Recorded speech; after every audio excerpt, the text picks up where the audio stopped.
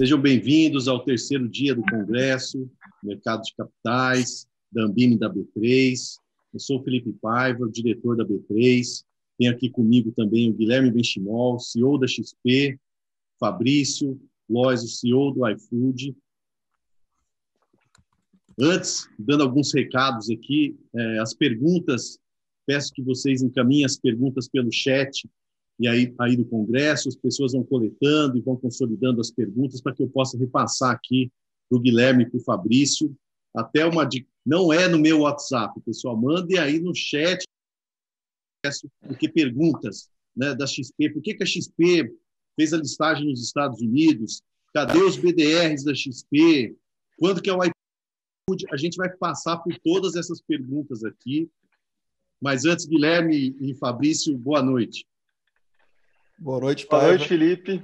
Boa noite, pessoal da B3. Prazer, obrigado pelo convite. Muito bom estar aqui com o Guilherme. Espero que seja divertido hoje. É um prazer também. A gente não sabe tudo, mas o que a gente souber, a gente vai falar aqui de forma bem, bem transparente.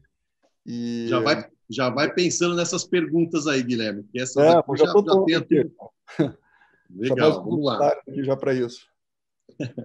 Quando a gente pensou esse painel, pessoal, junto com todos os painéis que foram pensados aqui no Congresso, no Mercado de Capitais, Ambino B3, e falar nisso, parabenizar todos que organizaram o evento, a construção dos temas. A gente vem falando. Já cortou o pai, eu acho, né? ou impressão minha?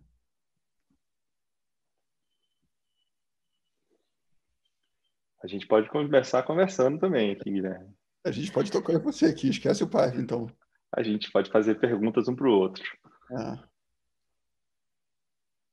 Bom, o pessoal que está aí assistindo para a gente, o Paiva sumiu, mas super animado de estar aqui hoje à noite. O iFood está passando por um momento de super desafios, evidentemente.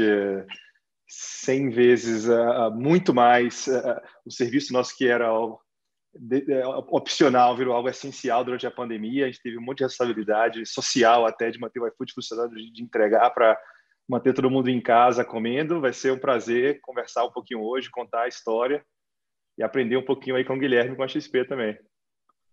Qual que é as suas boas-vindas aí, Guilherme, já que o pai deixou a gente aqui? Vai, é.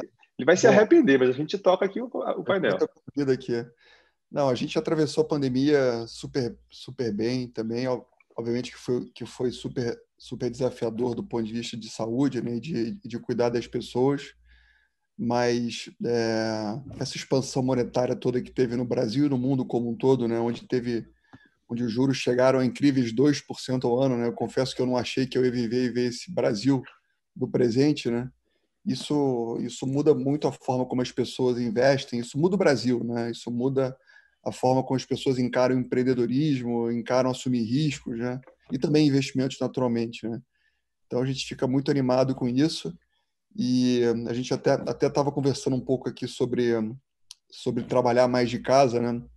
Eu não sei um pouco a impressão de vocês, mas eu tinha um pouco a impressão que quem trabalhava de casa era, digamos que uma pessoa não tão comprometida com o trabalho, né? É, e, assim, eu não acreditava muito nesse modelo, né? Até que a gente teve que aprender a, a trabalhar assim, né? E, e assim, na semana 1 um foi difícil, né? Eu não sei como é que vocês foram aí, mas semana 1 um foi difícil, semana 2 foi um pouco menos. Um mês depois a gente estava melhor do que antes e, e assim, a gente tem uma boa convicção que voltar a ser como era antes não é não é o caminho a ser a ser trilhado a partir de agora. Então a gente está montando uma sede nova que é a Vila XP, que vai ser em São Roque. Hum. A gente que tinha em São Paulo 25 mil metros quadrados, a gente entregou já metade do espaço. E, e as pessoas estão se sentindo com muito mais qualidade de vida. Então, assim, quando a gente entende a dinâmica da empresa, né, e vê que a maior parte das pessoas que trabalham em São Paulo, né, que é uma capital dura, cara, difícil, né, que elas conseguem ficar mais próximas da família, que elas conseguem ter mais qualidade de vida, que elas conseguem ter casas maiores no interior eventualmente, e que no final esse ciclo né, deixa a empresa melhor, né? porque pessoas mais felizes entregam mais resultado e assim você consegue montar uma matriz de custo diferente, né? porque você consegue uh, você consegue trazer o gaúcho, mas o gaúcho ele vai continuar trabalhando em Porto Alegre. Uhum. Você consegue encontrar pessoas do mundo inteiro, então a sua amostragem de pessoas aumenta brutalmente. Então, é um, é, acabou sendo um aprendizado que a crise trouxe. Né? Então, a gente, a gente, ficou bem animado em, em, em saber que a gente consegue reconstruir a nossa governança corporativa, deixar a empresa mais leve e mais eficiente no final. Né? Então, comentando nossos aprendizados sobre trabalho remoto, muito, muito, muitos me perguntam quando é que volta ao normal, quando é que volta tudo como era antes. A gente também fez um escritório todo bonito. Pra, a gente tem hoje, sei lá, 4 mil pessoas e a gente não olha desse jeito. A pergunta não é quando tudo volta como era antes, é que a gente aprendeu como trabalhar melhor e a gente tem que pensar como é o futuro do trabalho a partir de agora. Então, o objetivo não é botar quatro pessoas de volta no escritório, é descobrir como que eu continuo tirando máximo do trabalho remoto, que funcionou bem para a gente, uh, mas também que com também um trabalho presencial. A gente tem falado muito de trabalho híbrido, né? Então, eu tenho provavelmente não está muito claro o formato. Ou uma semana todo mundo trabalha junto, depois passa um, dois meses sem encontrar, ou uma semana no mês, ou alguns um ou dois dias por semana no escritório, porque algumas coisas ainda é legal fazer junto. Só que não só a gente começou a aprender a, a aprender a trabalhar de forma diferente, como a gente começou a ver que oportunidades isso traz para a gente. No iFood, a gente começou a contratar muita gente fora do Brasil. Eu contratei gente na Califórnia, continuo morando na Califórnia, gente na Europa, gente fora de São Paulo e Campinas. Então, além de qualidade de vida, tem a capacidade de dizer vamos ser uma empresa global, precisa ter talentos globais, facilita muito que a gente esteja se conectando com as melhores pessoas do mundo. Ah, Ô, Paiva. Se... Opa, ah, calma aí, aumenta, calma aí. Estamos, estamos aqui, estamos voltando. Cara, ó, a gente já estava conduzindo aqui, tá? A gente já estava conduzindo aqui. Está a... super bem aqui. Eu acho que foi uma conspiração quando eu falei da, dos IPOs, vocês me derrubaram de propósito. A gente pode retomar aqui a discussão sobre isso, mas, pessoal, desculpa quem está nos assistindo, houve uma, uma questão técnica aqui, é, já conseguimos retomar. Podemos voltar, Guilherme e Fabrício, vocês já estavam fechando o acordo aí de como que vai ser o IPO do iFood ou a gente já pode voltar? Na B3, é isso. É, tá a gente falou um pouco sobre trabalho remoto, vamos para a próxima, vamos lá. Pô, legal, então vamos lá, pessoal, desculpem, vamos retomar. A questão do painel, quando a gente pensou e quando a gente estava pensando toda a parte do congresso, eu estava hum. parabenizando o time que organizou todas as agendas.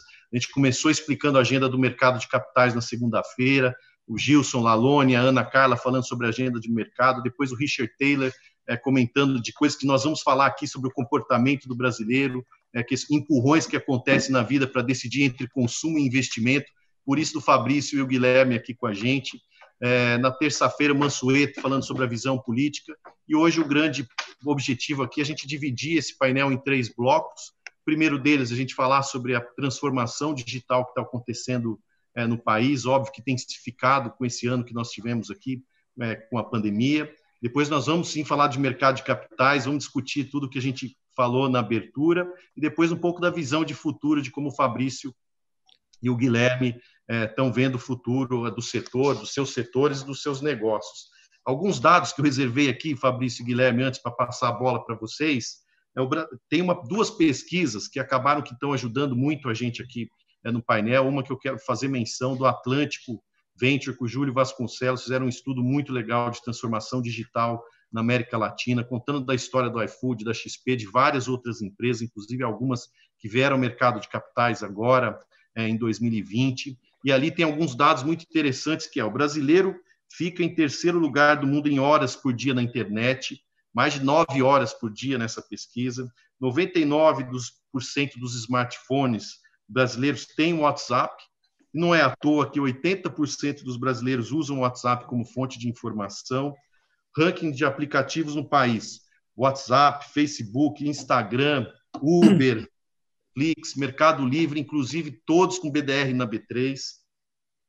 Marketing digital, orçamento de marketing digital das empresas no Brasil já já vai ultrapassar a TV, 34% já é em marketing digital no Brasil 42 ainda é a TV, então isso nos Estados Unidos já é muito mais mídia digital. E aí alguns números sobre os nossos mercados, dando um zoom aqui no consumo e investimentos. 2020, a gente está quase batendo a marca de 3 trilhões de reais em transações no consumo, no varejo. E, no, e o, falando de 3, né, Guilherme, a gente está um pouco mais aqui no setor do mercado de capitais, a gente bateu a marca recentemente de 3 milhões eh, de brasileiros eh, investindo em bolsa, recorde de IPO 2020 também a gente vai bater essa marca. Então, esperamos esses números chegar por décadas, e aí para passar a bola para vocês, há décadas em que nada acontece e há meses e semanas em que décadas acontecem. Uhum. Então, passar a bola para o Guilherme, qual que é a sua leitura do setor, Guilherme? Como é que você está vendo essa transformação digital no mundo de investimentos? Depois a gente pula para o mundo de consumo. Bom, gente, eu, é, eu vejo um, um, Eu comentei isso, isso um pouco antes aqui, Paiva, que a maior transformação que poderia acontecer no Brasil é a taxa de juros. Né? Então, quando a gente mexe nessa alavanca, né, o Brasil sempre foi um país rentista, um país dos monopólios e oligopólios, e isso não fazia o dinheiro circular. Né? Então, essa, só essa simples transformação acontece isso tudo que você falou. Né? As pessoas são obrigadas a, a pensar a longo prazo, assumir riscos, a diversificar. É, novas empresas acessam o mercado de capitais, seja via equity, via dívida, e, e a economia começa a acontecer, a gente começa a construir um, um outro Brasil, né? Então eu sou muito otimista com esse cenário. Acho que as coisas vão, a gente vai construir o Brasil do presente agora e as condições elas estão colocadas na mesa. Eu diria que o nosso maior desafio é, é, é aprovar as reformas fiscais, garantir que a coisa siga no trilho, porque a gente vai encontrar nos próximos anos uma abundância de liquidez muito grande no mundo, né? no, no mundo e, e no Brasil. E o que eu acredito é que essa explosão empreendedora que está acontecendo e que vai continuar acontecendo, o que, que isso faz na prática? Né? Muitos empreendedores, são muitas XPs, são muitos iFood, e, e isso gera competição entre empresários. Competição entre empresários é deflação de produtos e serviços. Deflação de produtos e serviços é juros baixos. Né? Juros baixos é, é inflação de ativos, né? que é dinheiro sobrando. Né? Dinheiro sobrando compra ação, compra compra ativo real e assim por diante. Então, é, isso, isso ajuda muito o nosso país a, a, a, a, ter entrada de capital e, e a trazer tudo que tanto nos falta aqui dentro, né? porque falta investimento em, em tudo, né? em saneamento, em infraestrutura, em telecomunicações, enfim, em, em, tudo. Então, esse é o cenário que eu vejo. E, obviamente, que, o, que, o, que a mentalidade das pessoas, né, de como elas encaram investimentos, muda, né? Você tem que ter, você vai ficar mais conectado, você vai acompanhar mais a, a cotação das ações, você vai ficar mais antenado nesse tema que até então era tabu, né? São apenas 3 milhões de pessoas que investem em ações, isso dá, dá 1,5% da população. Vocês né? falaram em 10 na Expert, hein? na Expert esse ano, eu lembro que o Gabriel chegou lá e falou 10 milhões em dois anos. E aí, tá de pé isso ainda? Ó, se você garantir os juros a dois, é mais que 10, tá? Você, se você garantir isso, eu garanto o resto.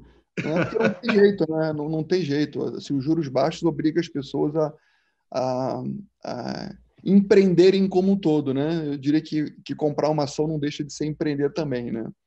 Então, é, é o fluxo natural e, e e... Fora a indústria de fundos, né, Guilherme? A gente já tem é, quase 6 milhões de pessoas cotistas aí com posição em fundos de investimentos. É, mas a concentração, a concentração é, do CDI na poupança do brasileiro ainda é muito expressiva, né? Então, assim, esse mix, se a gente acreditar que, o, que os juros do Brasil eles vão continuar abaixo do longo prazo, né?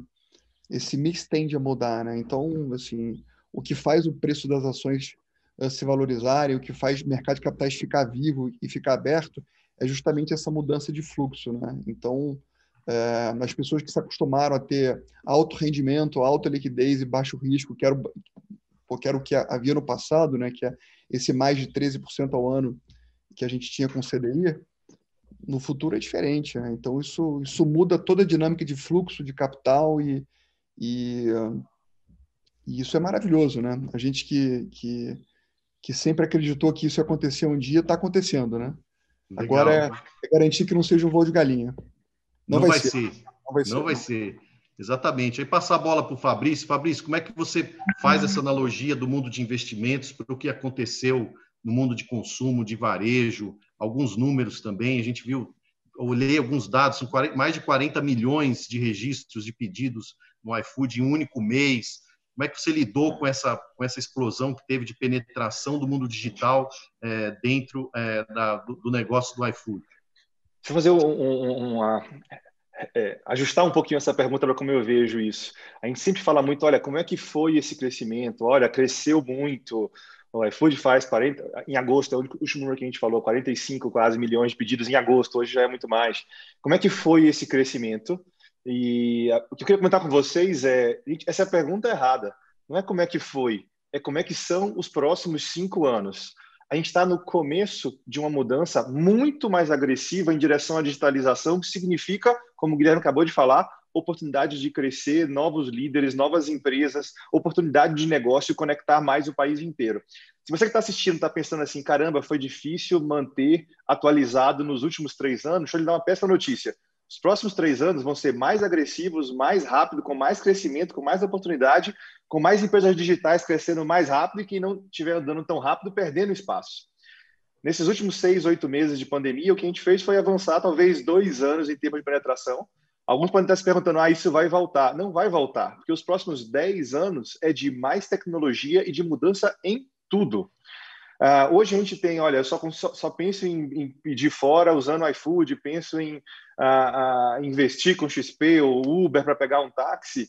Esses são só três mercados de todos que vão mudar. A gente não vai pagar em dinheiro no futuro, a gente vai usar pagamento com QR Code, com Pix ou com carteiras digitais, a gente vai usar o celular para fazer nossas viagens, todo tipo de shopping, mercado, padaria e muito mais. Então, sempre que alguém me pergunta que, como é que foi o passado, eu quero lembrar vocês, tudo de bom e grande de inovação está à frente e vai ser mais rápido, mais agressiva a mudança, o que é ótimo, porque cria oportunidade de pessoas viverem melhor, com produtos melhores, com serviços de mais qualidade distribuído para mais pessoas, mais pessoas investem com a XP, mais pessoas têm acesso a restaurantes com preços mais baixos. O iFood faz 45 milhões de pedidos, só que vai fazer 100 milhões daqui a pouco. Depois vai fazer 200 milhões. Então, a gente está aqui na comunidade de investidores que está sempre se perguntando como que eu reajo ao digital. Minha resposta para vocês é, olha, sua, o centro da sua vida tem que ser o digital. Qualquer que seja a sua indústria, se ela não for, ela vai ser disrupted pela revolução digital, e se você não for líder nisso, você vai perder espaço. Veja o lado bom, tem muita oportunidade uma, uma, uma equação, você falou de duas pesquisas da Atlântico, uh, houve uma outra ano passado. Fala da outra, uh, vou falar da outra, vai lá. Então, tem uma outra que fala o seguinte: é, as principais 10 empresas americanas há 10 anos, 15 anos atrás, era só uma de tecnologia. Hoje, 5 das 10 maiores são de tecnologia: Google, Apple, Amazon, Facebook, são 5 das 10 maiores. Aí se dizia, isso é só nos Estados Unidos. Na China, aconteceu a mesma coisa. As maiores empresas da China antes eram bancos e petroleiros, empresas de petróleo. Hoje são empresas de tecnologia, Alibaba, Tencent, entre várias outras, TikTok agora. Dizia-se no passado, mas isso não é no Brasil. Não, isso é no Brasil, sim. Hoje a gente já tem a XP, que já é uma empresa de um tamanho significativo. A gente tem o Mercado Livre, não é brasileira, mas é latino-americana, que é uma empresa de 50, 60 bilhões de dólares.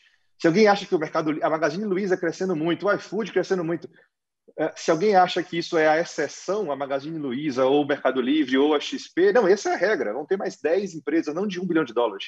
Ah, vamos fazer unicórnio? Não, vamos fazer empresa de 100 bilhões de dólares. Isso aconteceu na China e nos Estados Unidos, isso vai acontecer no Brasil nos próximos dois, três, quatro anos.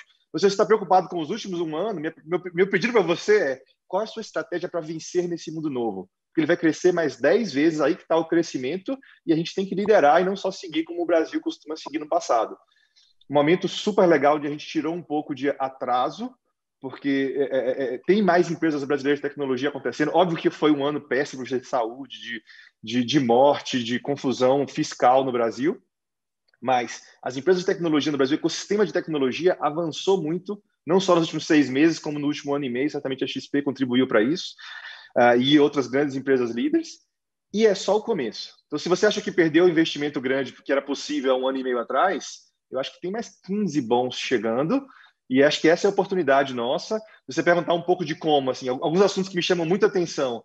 Inteligência artificial vai mudar tudo. Então, metade do que a gente faz hoje vai ser um computador fazendo melhor que a gente. Alguém pode se perguntar: ah, mas isso se perde empregos. Não, isso se cria novos empregos que não existem hoje, que oferecem serviços melhores para a população. Se eu tiver um enfermeiro fazendo um trabalho de médico tão bom quanto o médico usando um computador para ajudar ele, eu vou ter medicina de qualidade no interior da Bahia. Eu sou baiano, tenho coisa de propaganda da Bahia, no interior da Amazônia. Isso é serviço, isso é tecnologia. Hoje, XP tem muito mais gente investindo porque usa tecnologia. O iFood reduz o preço e aumenta a qualidade de entrega, permitindo que um restaurante pequeno use inteligência artificial para atender muito mais gente. Isso é a disrupção da tecnologia. Inteligência é um ponto, saúde vai mudar completamente. A gente hoje, não, não, tecnologia não chegou à saúde como poderia chegar ainda. A gente ainda tem, sei lá, planos de saúde, uma dinâmica de saúde que está tratando o doente em vez de conseguir antecipar isso. Educação, um desastre. A gente, nossa educação é igualzinho a 30 anos atrás, 60 anos atrás. A educação daqui a 10 anos vai ser muito diferente com a gente realmente usando tecnologia para aprender mais rápido, para aprender melhor, para se motivar melhor as crianças aprendendo, ou os adultos, porque você vai começar a se educar a cada cinco anos, não uma vez na vida, quando você tem 20 a 25 anos. Emprego, qual, como se cria emprego com tecnologia. Então, temos muitas oportunidades à frente. Os últimos um ano de crescimento em tech é só a ponta do iceberg. Vamos levar o Brasil para a liderança de inovação. Esse é, acho que é o desafio nosso, do iFood, da Móvel e de cada um de vocês assistindo. Poxa, Guilherme, acho que a gente achou um cara mais elétrico que você. Pô, cara. Deu uma aula aqui, né? Caramba! Nossa, ficar igual, Guilherme. 30 volts. Falando nisso, eu vou, vou, por aí então um pouco, já que você falou de, da agilidade, da, do desafio da, das empresas em se adaptarem. O outro dado, que saiu ontem uma carta da Dynamo, é muito interessante sobre transformação, né, reflexões sobre transformação digital e como a Dynamo está olhando e avaliando as companhias, avaliando as empresas do ponto de vista de adaptação de sistemas. A Dynamo faz algumas classificações, algumas propostas de métricas de como que a empresa consegue é, adaptar os seus sistemas e mudanças, é, não, é, não, é, de semana em meses, como é que consegue fazer deploy é, em dias, em número de vezes durante o dia, como é que eventualmente se o sistema cai, em quanto tempo consegue recuperar e uma série de outras métricas. Vocês com essa potência, tanto XP quanto iFood, como é que vocês olham para a indústria, para a empresa de vocês, esse, essa necessidade de adaptação, infraestrutura e sistema em cada vez muito mais rápido, como você colocou. Fabrício, começa com você e pulo para o Guilherme. Eu nem uso a palavra transformação digital internamente, porque eu acho que o futuro da empresa é digital. A empresa tem que ter um DNA digital, falar digital e estar tá totalmente focado em como é que eu migro o que eu tenho hoje para usar o máximo a dinâmica digital. Dentro do iFood, a gente fala muito em ser empresa ambidestra. É um tema que eu acho que gosto muito de falar sobre. Ser empresa ambidestra significa ter um lado da cabeça que está focado em execução, qualidade de execução, meta, controle, que é a empresa mais tradicional, grande, mas o outro lado é criatividade, inovação, testar, disrupt, tentar coisas novas, inovar como uma startup. O iFood e a Móvel são empresas que são ambidestras. Eu tenho tanta energia quanto executar bem feito, com qualidade, como inovar e jogar fora o que a gente tem, fazer tudo novo com muita velocidade. Por que eu estou dizendo isso? Porque mesmo a gente tendo um tamanho maior hoje, a gente continuar testando, inovando, tentando coisas novas, usando novos produtos, sendo o primeiro do mundo em um monte de coisa. A gente é um dos primeiros do mundo em usar inteligência artificial para melhorar a logística e otimizar muito isso. A gente está usando logística e inteligência artificial agora com, com drones e robôs para reduzir o tempo de entrega. A gente tem que testar, usar, aprender, até aprender algo que ninguém no mundo sabe e dar um passo à frente. A base para isso é velocidade e tolerância ao erro. Óbvio que quando eu entrego 2 milhões de comidas hoje à noite, eu não posso testar com o que eu estou entregando hoje, não posso testar no antifraude, no sistema de billing. Mas eu tenho que ter uma empresa que está aberta para faz vários pequenos projetos, rápido, não centralizados, não com o Fabrício decidindo, mas com cada pequeno grupo, a gente chama de jet ski, decidindo rápido, andando rápido. E, na minha opinião, essa característica e capacidade é o diferencial competitivo nosso andar rápido, mover rápido, aprender rápido, ajustar toda semana. Não é meses de jeito nenhum. Se alguém falasse assim, aqui tem um projeto de um ano, a gente fala assim, obrigado, está na empresa errada. Eu preciso que eu vou entregar semana que vem. E toda semana tem que melhorar. Então, velocidade para mim é, é o que faz a gente continuar funcionando e melhorando. Alguém pensou, alguém assistindo aqui, eu sei que você está pensando assim, ele está falando isso porque é uma empresa de tech, na minha empresa não pode ser assim. A gente implanta RPs, a gente acabou de implantar o SAP velocidade super rápida, super bem, colocou no ar rodando em paralelo muito rápido, porque o foco é andar rápido, aprender e melhorar semana que vem. Esse é o segredo da gente funcionar rápido, da gente funcionar bem, e acho que todo mundo tem que estar nesse clima.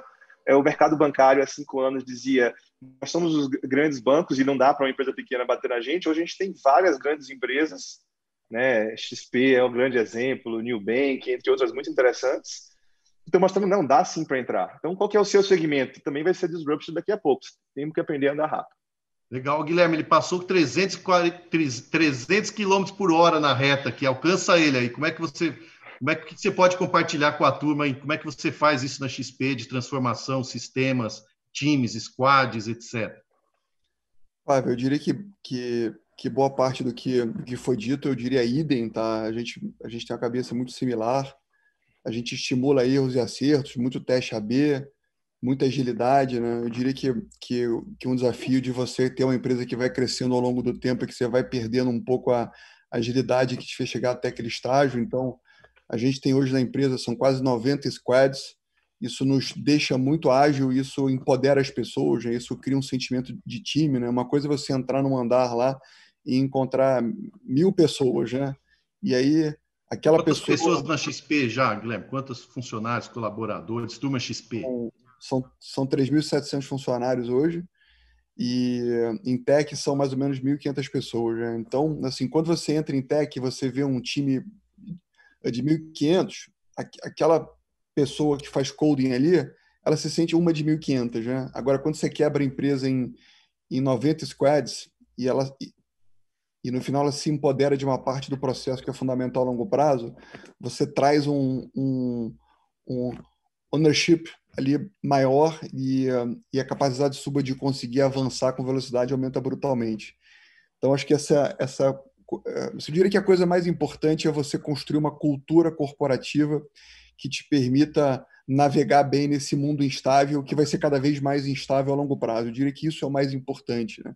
Aquela cultura engessada do passado, onde tem um key man, ou tem uma empresa vertical que decide o que, que vai ser feito, essas empresas elas vão acabar uh, uh, uh, muito em breve. Então, assim, a empresa do futuro é uma empresa que empodera as equipes, ela é descentralizada, e ela convive bem com, com erros, né? desde que erros é, curtos. É, ela, ela traz informação dos dados, né? não é nunca eu acho, né? são os dados que te, ofere que te oferecem é, os caminhos mais óbvios, né? e é a partir de alguns testes AB você vai descobrindo o futuro que vai cada vez mais sendo aderente àquilo, àquilo a, a que o cliente quer mas evidentemente que os clientes eles querem cada vez mais a melhor experiência possível, o mais rápido possível, no menor preço possível. Um clique. Num Hoje clique. em dia então, um clique. Então, se você não entregar isso, o seu concorrente vai entregar. E, e como eu disse anteriormente, chegar lá, é, eu acho que não é o foco na inovação. Eu diria que é muito mais o foco na cultura corporativa que permite que isso aconteça de forma descentralizada. Legal. Antes, antes da gente pular para o mercado de capitais, fazer uma ponte aqui. Vocês começaram a falar um pouco do, dos empreendedores brasileiros. O Guilherme, é, tenho visto aí você, Furlanete, Berenga viajando pelo Brasil atrás dos empreendedores, de vários empresários brasileiros. Fabrício também com Private Equity, Movilha, aí também conhece. Como é que vocês estão vendo o, empreendedor, o Brasil como um celeiro de novas companhias? E já já a gente vai falar de como que essas companhias podem usar o mercado de capitais para alavancar ainda mais os seus negócios. Quem começa? Com você, Fabrício. Eu acho que a gente teve um progresso no último ano e meio, como eu falei, enorme. Faltava no Brasil um pouco de role models, né? De olha, aqui é possível sim começar uma empresa de internet e ela valer 10 bilhões de dólares. É, é possível. Parecia que não, aqui isso é coisa de americano e de chinês. E não é verdade. A gente teve em pouco tempo muitas empresas crescendo muito, muito mais capital investido. Acho que foi um processo de aprendizado que não é só o empreendedor, né? A gente lê no jornal, né? Quando fala, fala matéria sobre é, a móvel, ele fala assim, não, o Fabrício teve essa ideia, aí fez, aí recebeu dinheiro e, puf, cresceu mil vezes. Nada a ver com isso, é verdade, né? A gente deu errado 100 vezes, precisou de 250 pessoas melhores do que eu, trabalhando junto, com tanto senso de dono quanto eu, que fizeram coisas mais inteligentes do que eu para que isso dê certo depois de muito erro. Do mesmo jeito, não é que só o empreendedor brasileiro está melhor, o ecossistema está muito mais sofisticado. A gente tem mais dinheiro em anjo investido, a gente tem mais, mais transações corporativas de aquisição, muito mais aquisições nos últimos meses, mais venture capital está ajudando, trazendo experiência para pensar grande e andar rápido. E, cara, e alguns, agora alguns êxitos e IPOs que certamente é só o começo de algo muito maior. Então, acho que a gente tem um momento de, de, de, o ecossistema inteiro ficou mais maduro. Tem um monte mais de empreendedor que não conseguiu fazer algo maior antes, porque o ecossistema também não propiciava isso. Acho que a gente vai ter bastante mudança e muito mais novidades aí para frente. E você, Guilherme, como é que está o pipeline de empresas aí para o mercado de capitais? Olha, pai, eu, eu tô, tô literalmente na pista aí visitando o Brasil inteiro, conversando com muitos empresários e o Brasil assim é uma, é uma mina de ouro, assim, literalmente, tá? Eu, eu é, a quantidade de histórias legais e de pessoas extraordinárias que inventaram coisas únicas é enorme. E isso aparece quando os juros baixam, né? Porque quando os juros baixam, é, o mercado de capitais se abre, né? Então, quem era empresário antigamente, basicamente tinha acesso a, a crédito difícil nos bancos, né? E eram ali meia dúzia de bancos. Né? Quando você tem mercado de capitais abertos, que é, que é a, a poupança do Brasil disponível a tomar risco, seja via dívida ou via equity, né? Esse empresário ele pode ir ao mercado, ele pode lançar um, ele pode emitir um CRI, ele pode emitir um CRA, ele pode lançar um FDIC, né? Ele pode abrir capital na bolsa. Então isso muda a dinâmica por completo. E como eu disse anteriormente, isso muda a cabeça das pessoas, né? Porque se você tinha aquele amigo um dia que queria empreender, né? queria montar uma pizzaria e, e ele media lá um TIR de 15% ao ano, pô, 15% ao ano, pô, não vou abrir a pizzaria com juros de 13% ao ano, né? Não vou me incomodar aqui e ganhar 2% ao ano se tudo der certo, né? Mas com juros a 2, tudo fica de pé. Acho que até o trem-bala fica de pé, né? Bom, o trem-bala acho acho que não fica de pé nunca, mas, mas no final tudo fica de pé. Então isso, isso aflora o, o empreendedorismo no Brasil, né? Eu diria que, que no Brasil, como a gente, te, a gente sempre foi um país muito instável, as pessoas sempre buscaram estabilidade, né? O sonho do brasileiro sempre foi ser concursado público, né? E óbvio que é importante que, que tenha concurso no Brasil e tem pessoas extraordinárias em empresas estatais e no governo como um todo, né? Mas não pode ser um sonho de uma nação isso, né? O sonho da nação é importante seja assumir riscos, seja empreender, seja construir empresas que possam possam trazer inovação, competição, novidade, gerar emprego. Né? São os empreendedores que fazem isso. Né? Então, as condições elas estão criadas e é, assim o, o, a agenda de IPOs que a gente vai ter nos próximos meses é brutal e, e a quantidade de história bacana é extraordinário. Então, tenho certeza que a B3 vai continuar crescendo muito e a quantidade de pessoas que investem na bolsa mais ainda. Muito bom. Sabe que um dos momentos mais marcantes nessa, nessa trilha do, do, empreendedor é o toque da campainha e é muito nítido quando, quando a, a, pessoa começa a olhar e ver tudo que ela construiu e começou ali um movimento é, para crescer a companhia e lembra de quem ajudou, como o Fabrício comentou, 200 pessoas, 300 que ajudam o movimento até chegar num grande dia de ida para o mercado de capitais e começar a usar e usufruir é, dessas ferramentas do mercado de capitais para alavancar e impulsionar ainda mais a companhia. Nos últimos, nos últimos 10 anos, eu estava levantando um dado aqui, foram mais de 210 ofertas no Brasil nos últimos 10 anos, mais de 500 bilhões de reais captados. É, esse ano, a gente deve bater, bate um recorde, porque a gente teve, dois, tirando o mega operação da Petrobras 2010, de 120 bi, agora esse ano a gente já está com 48 ofertas, 25 IPOs, né, empresas brasileiras que estão usando o mercado de capitais para impulsionar, não só em ações, mas em dívidas também, né, mercado de renda fixa, mercado de renda variável, que a gente tanto esperou, agora está começando, é um começo dessa transformação. E 5% das companhias, Guilherme, resolveram fazer o toque da campainha lá nos Estados Unidos. Aí eu já estou começando algumas perguntas que caíram aqui. O porquê Guilherme Benchimol resolveu fazer a listagem nos Estados Unidos? Bom, é, eu, assim, eu diria que basicamente porque no Brasil a lei das SAs não permitia que a gente tivesse acesso a super voting shares. É, na super voting shares é um mecanismo que te permite com 10% do capital total da empresa ter uma ação superordinária e com ela você consegue ter o controle da empresa. Aqui no Brasil só com 25,1%. Né? Então você consegue ter um nível de alavancagem maior lá fora do que aqui no Brasil. E para gente que já tinha feito algumas rodadas importantes antes, né, teve alguns fundos que entraram, até o Itaú que entrou há quatro anos atrás, era importante ter essa alavancagem incremental. Então eu diria que foi basicamente esse o tema, assim, localmente a gente tem a gente tem muita liquidez, assim, hoje em dia eu diria que o que o bolso no Brasil ele é tão fundo ou maior do que o do que o bolso lá de fora. Então, antigamente até tinha uma questão maior, ah, mas eu acho que lá fora tem múltiplos maiores e tal. Eu, eu discordo disso hoje em dia. Eu diria que aqui, como, como vai ter uma transferência muito grande de poupança, cada vez mais as pessoas vão ter que investir em fundos de ações, em ação e etc. Você vai ter, você vai ter cada vez mais dinheiro sobrando na direção de alocação de renda variável. Então, se não fosse esse tema, a gente seria listado na B3 e assim que a gente ultrapassar a nossa quarentena, que são, são 12 meses, né, a gente consegue listar o nosso, a nossa ação aqui no Brasil via BDRs. Então, assim que, assim que a gente ultrapassar essa fase, a gente vai estar listado aqui no Brasil também. Assim, não... Quando que a gente vai fazer o toque da campainha, Guilherme? Janeiro? Podemos, podemos fazer um acordo aqui, não?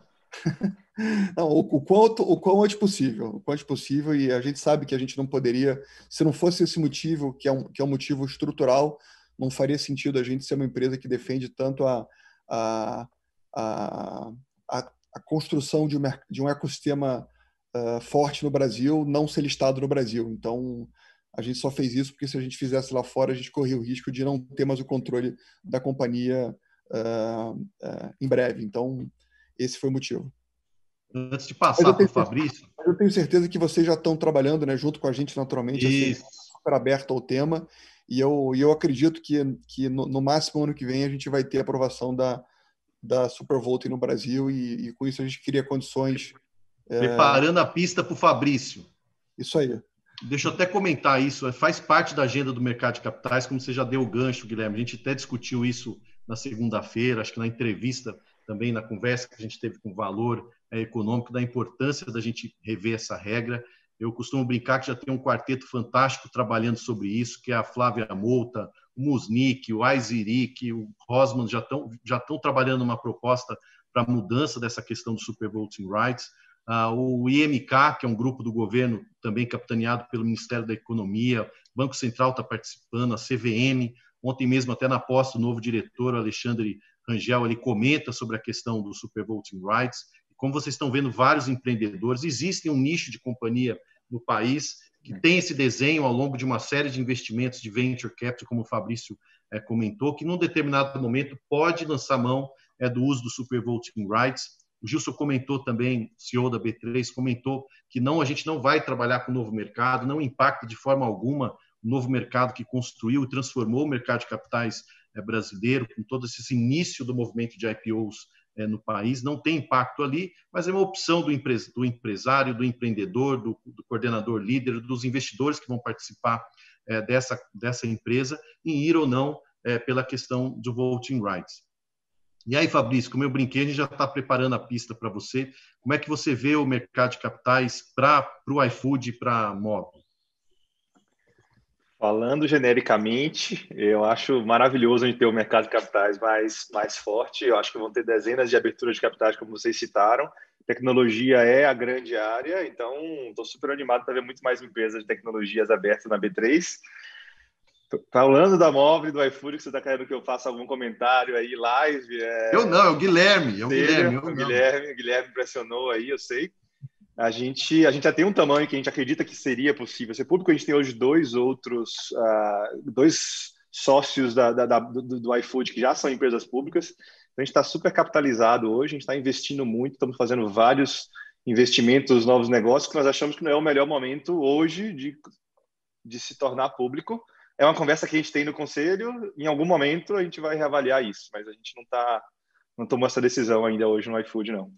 Fabrício, Quase, Guilherme que eu acho muito legal é que assim eu, eu era tenista antigamente né? Então a, a, acompanhava muito o Guga e tal.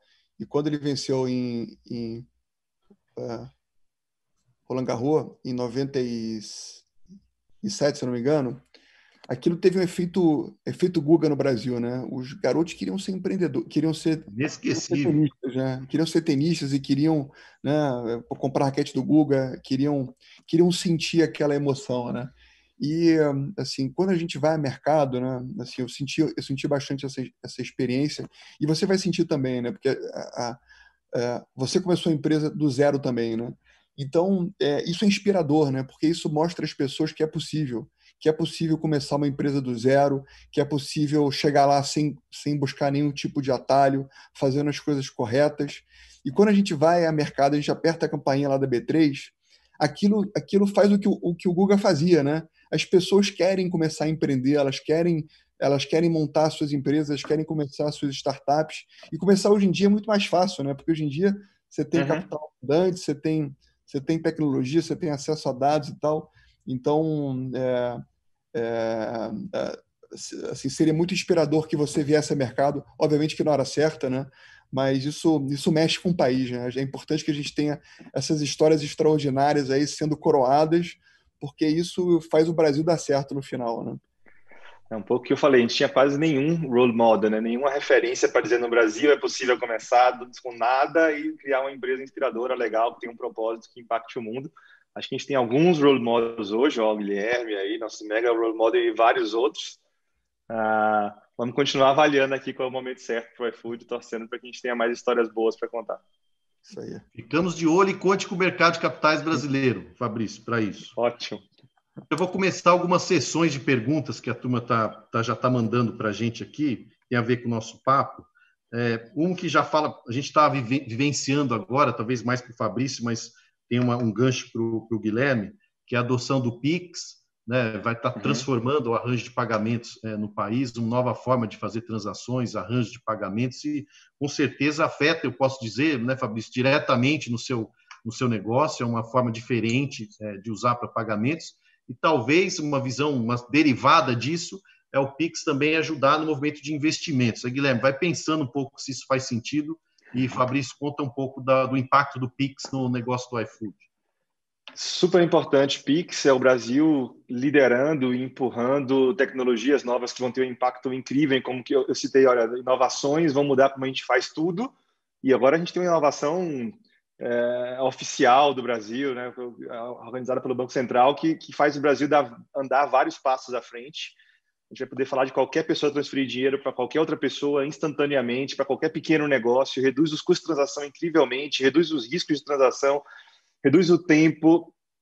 Quando a gente tem muito mais facilidade, menos fricção em fazer transações, todos os negócios vão andar mais rápido.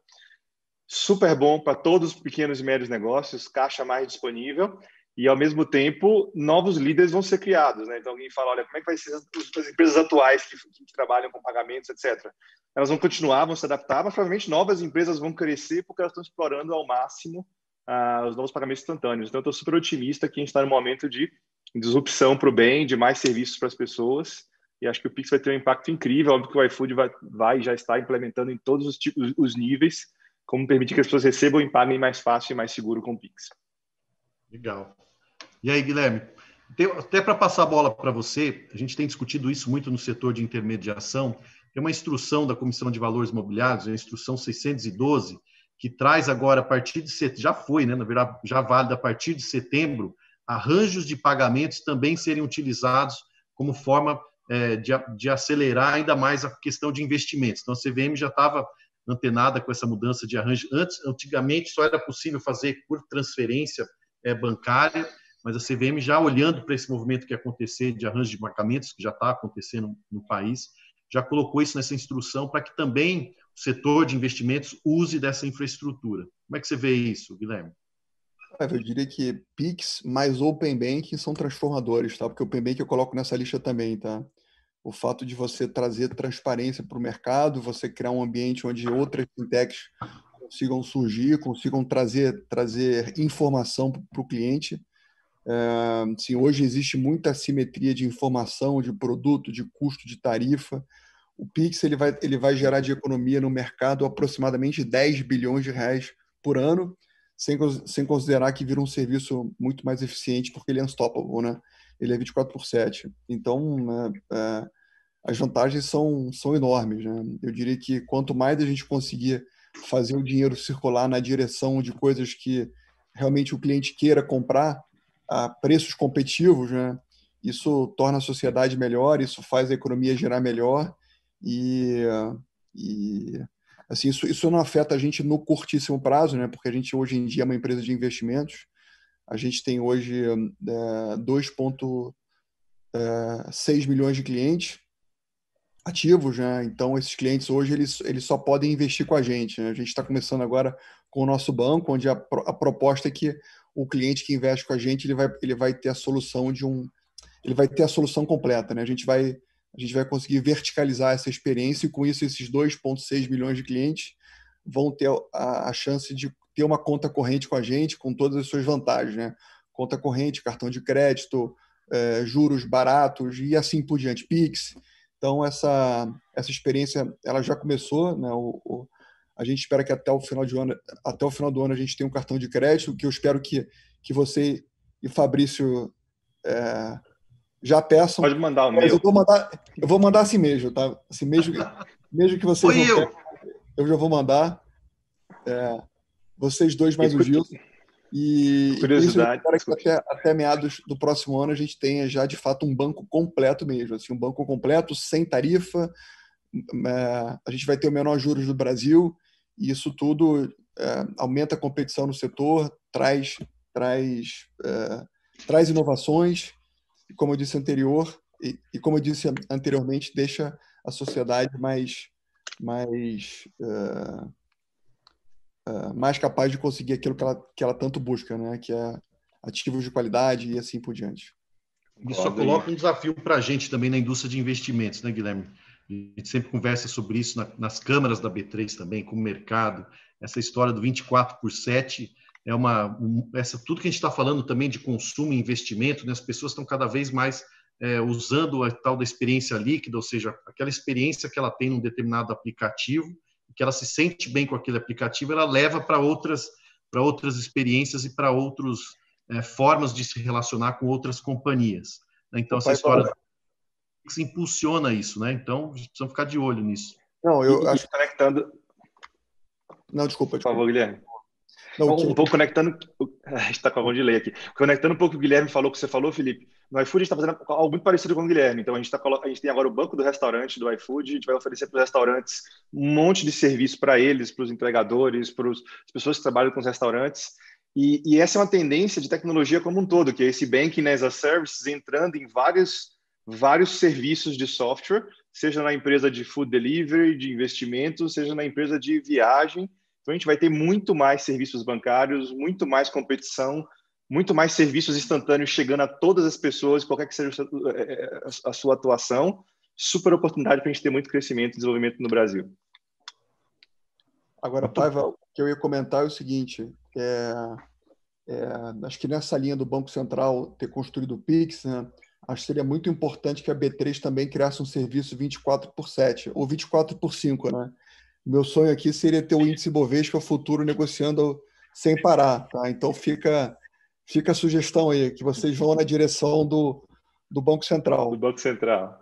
Não tá só a B3, todo mundo. O ecossistema todo, Guilherme. Precisamos discutir isso, faz parte eu, dessa, desse eu, movimento, eu, dessa transformação, né? O compromisso aqui você tem, tá? Você faz, o, você faz um compromisso aí comigo também. Assim, o meu compromisso você tem. Se for necessário, a gente fica aqui 24 por 7.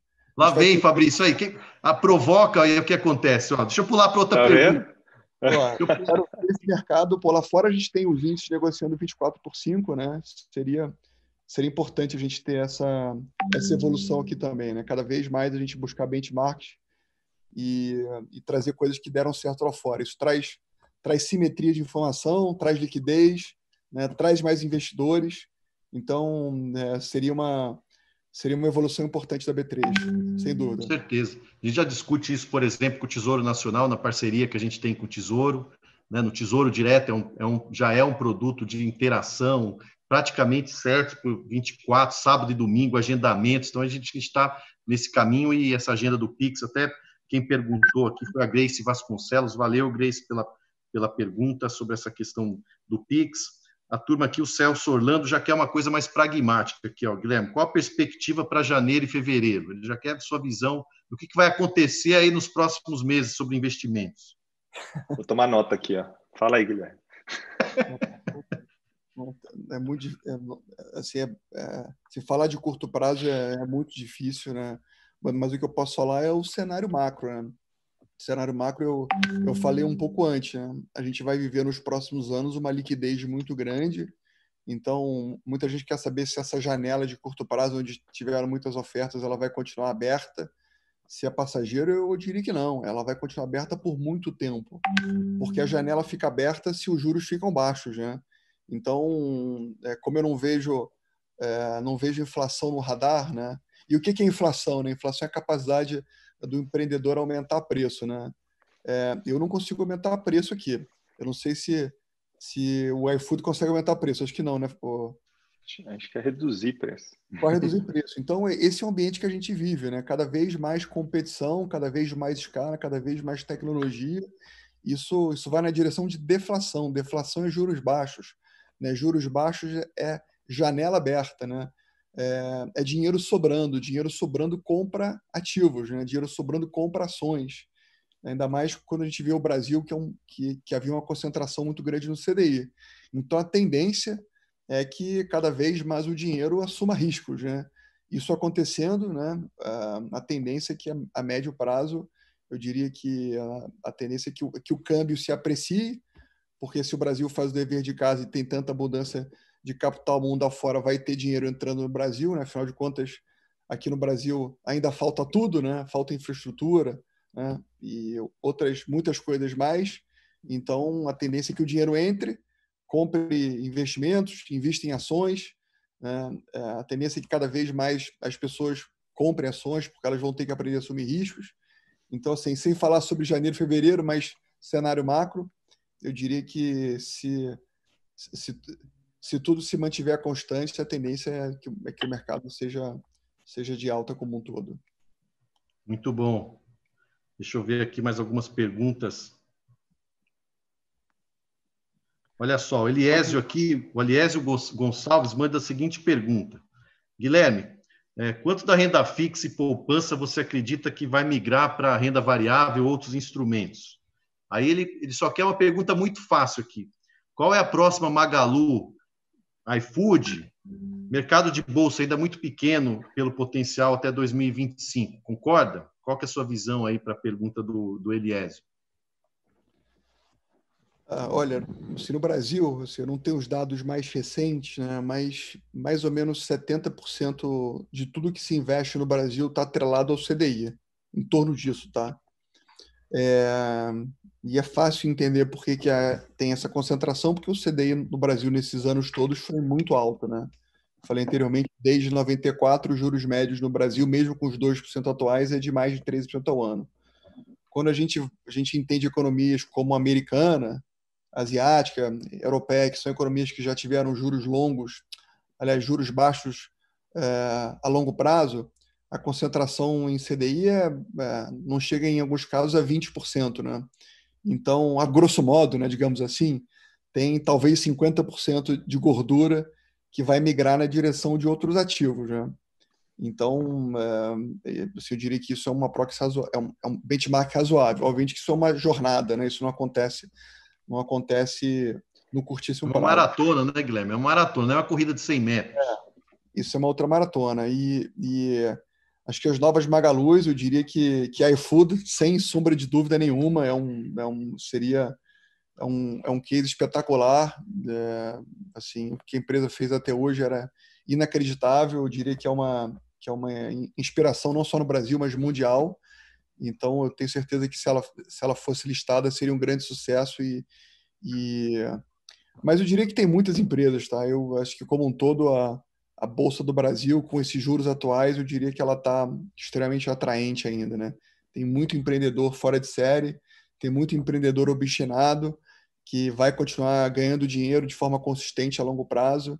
E então, uh, hoje em dia, se não me engano, o nosso uh, yield na Bolsa Brasileira está em torno de 2,5%, ou seja, o, o, dividendo que você recebe ao comprar a, a, o índice Bovespa, né, as ações mais líquidas da Bolsa Brasileira, você vai ter de renda anual mais do que o CDI te paga. Então, é, uma, é, um, é um belo exemplo de que, de que de que os mercados estão, estão super atraentes, né? Ou seja, você ganha mais no dividendo do que você ganha no CDI. Obviamente, desde que o CDI siga nesse patamar atual. Então, tem muitas empresas que pagam, pagam dividendos muito superiores a esses, esse 2,5% que é a média do Ibovespa. Então, de novo, é a prova de que, de que, de que tem oportunidades muito grandes no Brasil. Felipe, deixa eu, deixa eu roubar e fazer um comentário de 30 segundos sobre um assunto claro. que não tocou, mas que eu acho importante Uh, nosso objetivo é revolucionar a alimentação no iFood, o que significa comida mais barata, de mais qualidade, mais rápido e mais sustentável. Sustentável significa com menos poluição, que é um problema que existe, que a gente tem que resolver, que significa com um ecossistema mais justo. E a gente está investindo muito nisso, em educação, em desenvolver as pessoas, em cuidar dos, entregadores, parceiros, em cuidar dos restaurantes. Eu acho que a gente falar mais disso é fundamental nesse ambiente aqui. Esse é um ambiente que a gente tem que dizer quando a gente...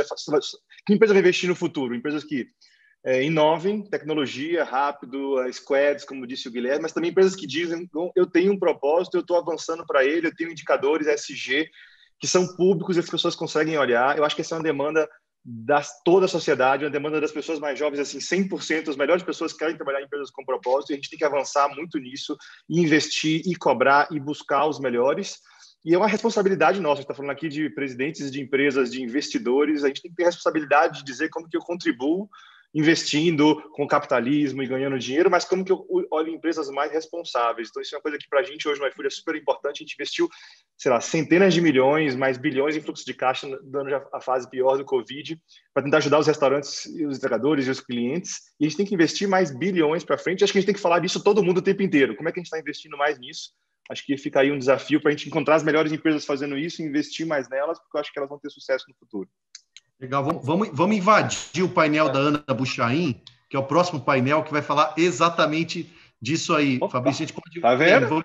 Conectei. Invade lá o painel da Ana com o Walter Schalke e o Kaká. Eles vão falar exatamente sobre isso, da, desses desafios, Fabrício, no próximo painel aqui do Congresso. Fiquem aí. Já tem mais de mil pessoas com a gente aqui. O pessoal está me falando aqui pelo, pelo WhatsApp. Fiquem para o próximo painel. Eu vou ficar também. E a gente fica, a gente invade o painel deles lá, Fabrício, para falar sobre isso. Acho que o Guilherme tem muito a falar também é, sobre essa o Fabrício comentou um tema que eu acho importante pra caramba, tá? Que é cada vez mais os, os clientes eles querem empresas que, que, que te tragam experiências incríveis a preços extraordinários, tá? Isso, isso hoje em dia é o, é o básico, tá? Mas cada vez mais eles vão exigir empresas comprometidas em deixar o mundo melhor, tá? Então, Com certeza. comprometimento é uma realidade. Isso é uma realidade, tá? Então, é, acho que a nossa geração, né? É, eu sei que o pai vai mais velho que a gente, né? Pô, tá beirando ali os cinquentinha já. E, e a gente tem, a gente entendeu que, que quem vai quem vai deixar o mundo melhor não são eles, já somos nós, né?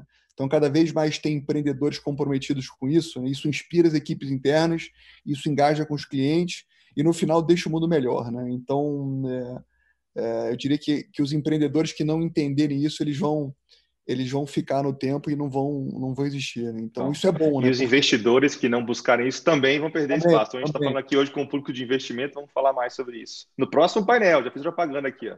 Não, então, é, legal, a gente invade lá. É por isso que eu fico muito otimista e tenho certeza absoluta que o futuro vai ser melhor do que o passado e o, e o presente, tá? Porque cada vez mais esse comprometimento vai, vai se tornar realidade. Então, não tenho dúvida o futuro será melhor. Muito bom. Guilherme, o, o Fabrício puxou uma questão aí da educação. Né? Acho que são é, três empresas, B3, iFood, XP, muito engajadas com essa questão da educação, é, do ecossistema, vamos dizer assim, dos investidores do nosso lado aqui, né, Guilherme, dos próprios intermediários também, dos profissionais que trabalham é, nos bancos, nas corretoras. Existe aí um DNA de, de profissionalização e de também levar informação e educação financeira é, para o brasileiro. Então, vou puxar esse, esse gancho da educação. Guilherme, como é que você vê isso na, na XP? E Fabrício, contar um pouquinho mais dessa questão da educação no iFood. Assim, educação financeira está é, assim, tá na nossa essência é, desde o início, né? Assim, virou um virou um mantra nosso, né? É, assim, eu diria que que construir uma empresa que topa o desafio de competir contra os grandes bancos brasileiros não é um, não é um desafio trivial e mas sempre que você fica do lado do cliente e você empodera as pessoas com conhecimento, né, abrindo a cabeça delas e trazendo um, um conteúdo genuíno, você você consegue criar uma conexão diferenciada. Né? Então foi isso que a gente fez. No Brasil não existe educação financeira desde a educação financeira básica, que é a economia doméstica, né? as pessoas não sabem que podem economizar, quem nasce pobre acha que tem que morrer pobre, né? É, quem tem dinheiro acha que tem que investir na poupança. Então, são conceitos que foram, foram colocados na sociedade e como a gente sempre viveu esse ambiente super instável, isso acabou virando verdade. Então, cada vez mais investir em educação financeira é um, é um foco da XP. A gente educa quase 500 mil pessoas a cada ano, através de desde cursos básicos até MBAs. É, o Kaká fez um evento com a gente ontem, inclusive, e, e, acho que é isso. A gente tem que a gente tem que a gente tem que levar conhecimento à população como um todo, né? Cada vez mais isso isso vai tornar a sociedade melhor e a, internet ajuda muito nisso. Então uh, vocês têm um compromisso que que além de, de continuar ajudando as pessoas a investirem melhor, a gente vai cada vez mais trazer conhecimento de qualidade e com isso ajudar a, a tornar o nosso Brasil um país cada vez melhor. Bom, Guilherme Fabrício, infelizmente vou ter que encerrar nosso bate-papo aqui. Já recebi informação de tudo que é lado, que o tempo está esgotado. Tem respeito até o próximo painel, que o Fabrício já deu uma, um spoiler sobre a questão da sustentabilidade. De novo, Cana Buchaim, Walter Schalka e também o Kaká, que o Guilherme acabou de mencionar. Aproveitem o próximo painel e continuem com a gente aí no Congresso do Mercado de Capitais. Fabrício, Guilherme, últimas palavras e muitíssimo obrigado. Obrigado pelo convite, parabéns B3. Estamos só começando o mercado de capitais no Brasil, iFood, XP também. Obrigado por estar aí com a gente com, com, ouvindo hoje. Até a próxima, pessoal.